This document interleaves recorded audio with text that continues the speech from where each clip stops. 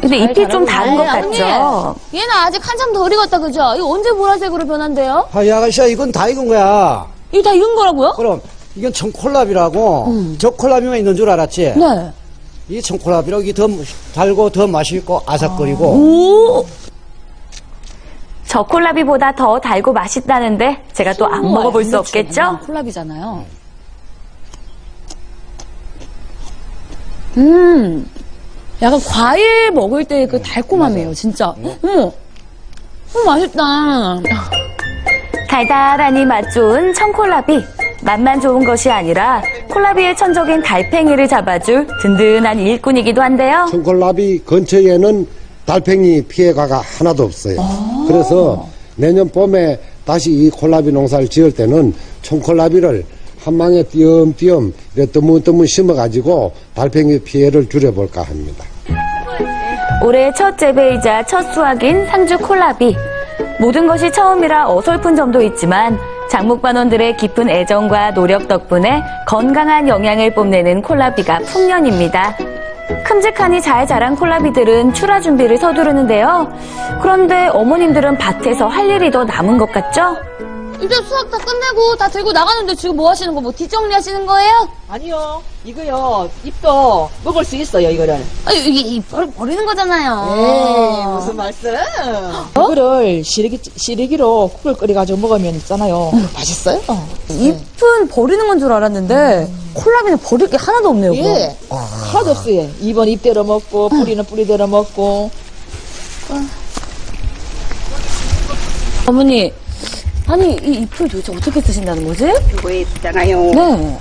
말려서 좀 삶아가지고 말려가지고 시래기장 아 이게 말린 거. 삶은 콜라비 잎은 좋은 국거리가 됩니다.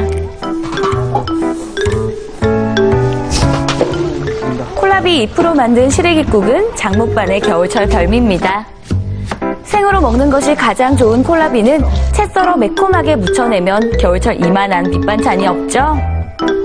콜라비는 다른 채소들에 비해 비타민C가 5배나 많아 면역력에 좋고요.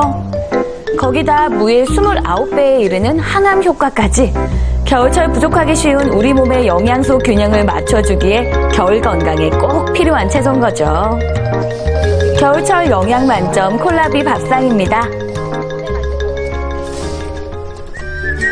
추운 겨울 콜라비 시래기 한 그릇이면 몸도 마음도 사르르 녹습니다.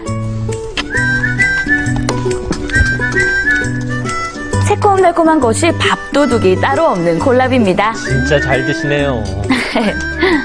콜라비 밥이 콜라비가 들어가서 약간 달큰한 향이 났는데 새콤달콤하면서 약간 매콤한 콜라비 생채가 딱 들어가니까 다른 양념장 뭐 나물 다 필요 없어요. 진짜 이거 한 그릇이면 밥 한 그릇 뚝 따일 것 같아요. 와, 진짜 맛있네. 장목반의 겨울을 밝혀준 고마운 콜라비. 그 마음을 멋지게 표현했는데요. 콜.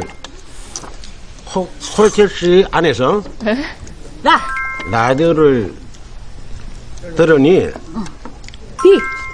비가 오나 눈이 오나 항상 우리 콜라비는 잘 자라고 있대요. 어, 비가 오나 눈이 오나 콜라비 잘 자라고 있대요. 일단은 저희들 병충해 예방을 좀 더 해가지고 생산을 양을 좀 넓혀야 할 것 같고요. 그리고 저희 장목반이 지금 콜라비 단일 장목으로 가다 보니까 시장성이 좀 부족해요. 그래가지고 품종을 좀 다변화해가지고 지금 콜라비 말고 여러 품종으로 해가지고 생산 체계를 좀 넓히는 방향으로 그렇게 계획 잡고 있어요. 평생을 오이만 바라보던 농부들의 새로운 보랏빛 보석이 된 콜라비. 그들의 정성 어린 땀이 깃든 건강함으로 더 많은 사람들의 겨울을 책임져 주길 바랍니다. 지금까지 대구였습니다. 음, 저는 이제 안 먹어본 건 얘기 안 하려고요. 전 네. 콜라비 먹어봤는데. 아, 그래요? 네. 네. 근데 사실 처음 먹고 약간 씁쓸하다고 생각했거든요. 음. 근데 청 콜라비는 훨씬 더 달짝지근하다고 아. 하니까 다음번엔 청 콜라비를 먹어봐야겠어요. 아니, 이상현 씨 저렇게 맛있게 먹는 거 보고 좀 마음이 상했어요. 네. 자, 이어서 저희는 대방마을 가보겠습니다. 네. 김현영 씨. 네. 안녕하세요. 네. 오늘의 대박마을은요, 우리나라 최남단에 위치한 곳인데요. 마을 사람들이 마을 사랑이 정말 대단한 곳입니다. 지금부터 당장 전남 해남으로 가보장게요.